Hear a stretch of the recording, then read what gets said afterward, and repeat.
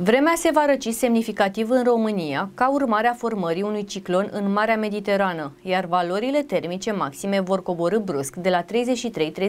de grade la 15 grade Celsius în regiunile intracarpatice, a declarat miercuri directorul general al Administrației Naționale de Meteorologie Elena Mateescu.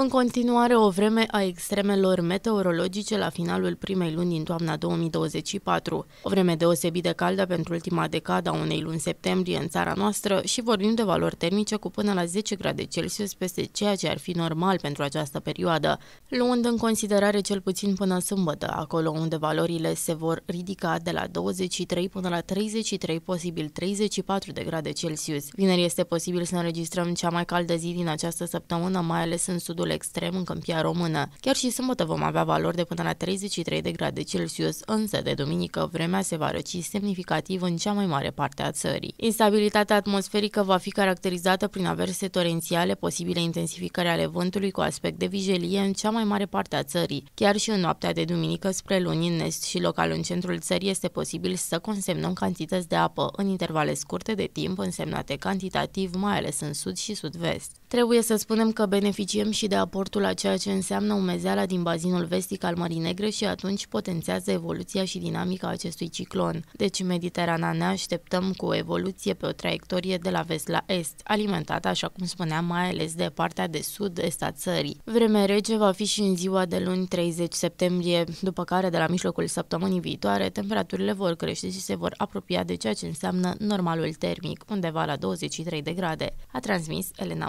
Matescu, relatează Observator News news.ro